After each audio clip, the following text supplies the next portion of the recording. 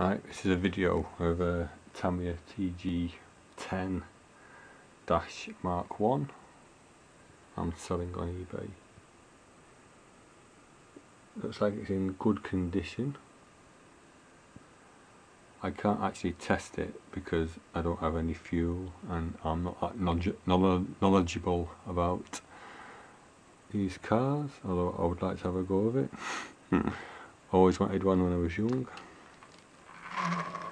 You look around there, the engine is very clean, tyres are very clean. It's got the radio receiver there.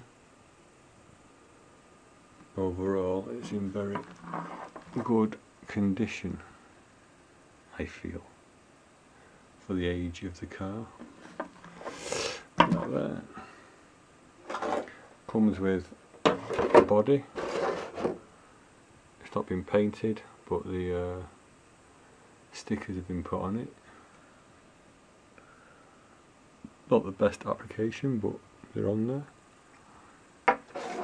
The shell's in good condition.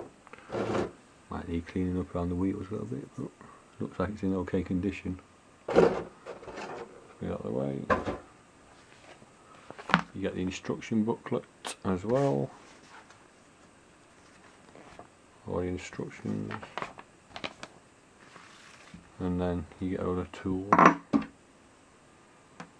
comes with it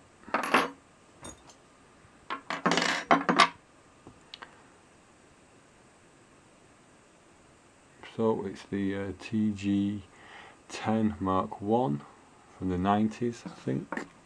Tamiya 4 wheel drive nitro car.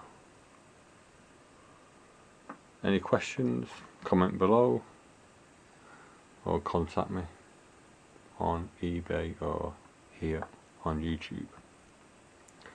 Thanks for watching.